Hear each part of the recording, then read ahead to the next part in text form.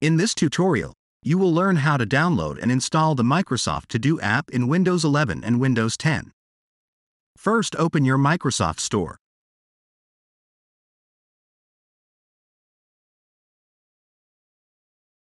Search for Microsoft To Do.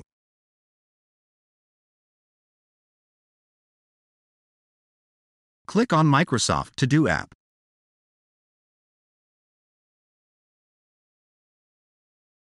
Press the Get button to start downloading Microsoft To Do.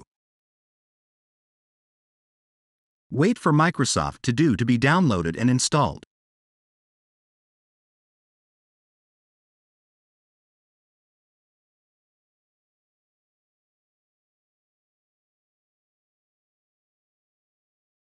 Now your Microsoft To Do app should be installed. Now open your Microsoft To Do app.